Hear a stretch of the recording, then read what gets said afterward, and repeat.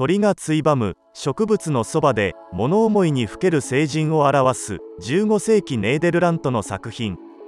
1489年頃にヒエロニムス・ボスが制作した荒野の洗礼者ヨハネ。岩に頬杖をつく聖人は赤い衣装の袖口から毛皮の衣を覗かせ子羊を指さすことから洗礼者ヨハネであると分かります。その傍らに生えているトゲのある植物の大きな丸い果実に開いた穴から中身のつぶつぶを鳥が食べています。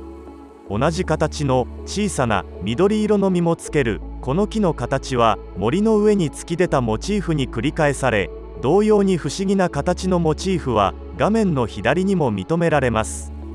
聖人を描きつつ周囲に広がる自然の舞台に想像力が生み出した不思議なモチーフを並べるユニークな宗教作品です。